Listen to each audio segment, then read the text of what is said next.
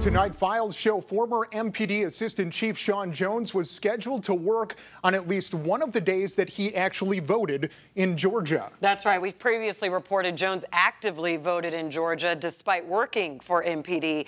His primary residence was listed in Fulton County, Georgia. Now, Jones voted early and in person three times in Georgia while working as MPD's assistant chief.